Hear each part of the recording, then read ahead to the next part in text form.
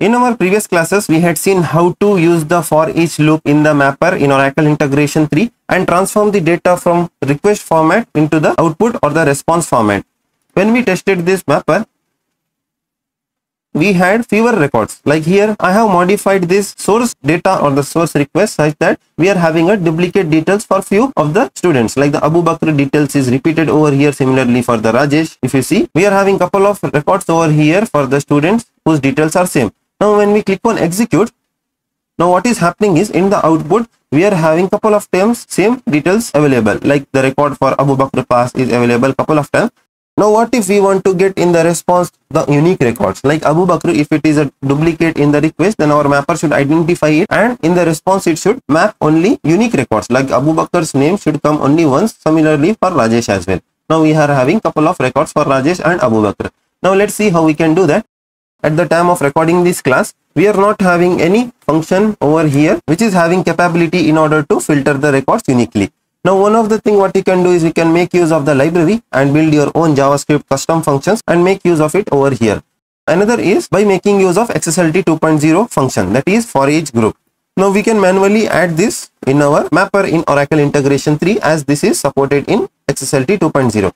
Now you might ask me how I know that this integration mapper supports XSLT 2.0.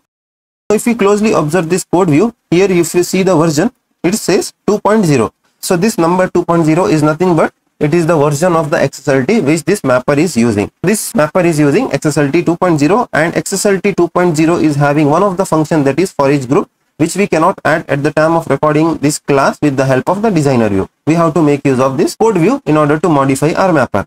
Now the syntax for this is like this. XSL opening bracket for each group. Then it is having a select clause what we have over here. Now if i show you the for loop which we have added it's having this syntax for loop and the select.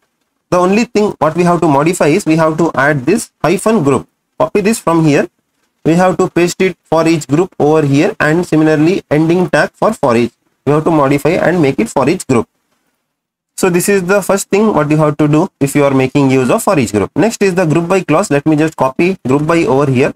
Apart from select it is asking based on what we want to group the records. We have to group by based on the name over here.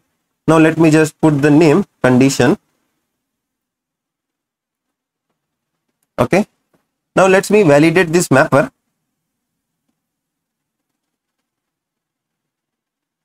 now if you try to go back to the designer over here it is not allowing because we are making use of a function which is not available in the designer mode so if you make use of any XSLT 2.0 functions in your mapper, then the designer view you cannot make use.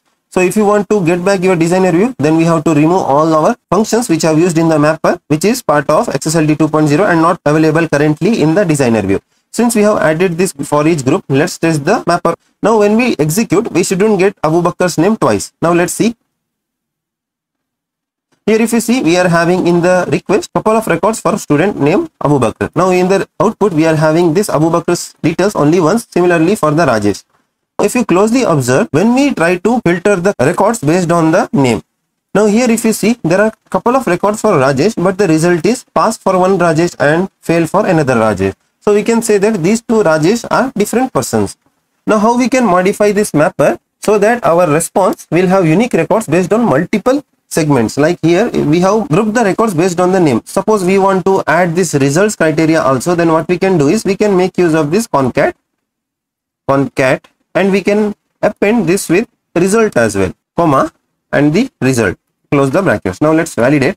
Now what this function will do is it will group all the source records based on the name and the result. Suppose if the name and the result are matching in both the records like here in this case Abu Bakr and pass are same for both the records over here. But in the case of Rajesh only name is matching but the result is not matching. Then they are different records. Now let's execute this. Now when we execute we are getting details for Abu Bakr only once. Here if you see Abu Bakr only once we are getting but for the Rajesh we are getting couple of records. So like this we can make use of the for each group function in XSLT 2.0 over here in the mapper and filter the records or group the records conditionally or we can get the unique records in the response.